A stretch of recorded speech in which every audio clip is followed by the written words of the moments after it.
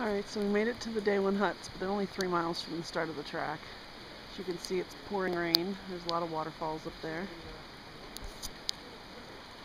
Beautiful mountains all around us. These are the huts. They have bunks in the kitchen. That's the kitchen. Way over there is the bathroom. And Paul's about to go attempt to fish in this weather.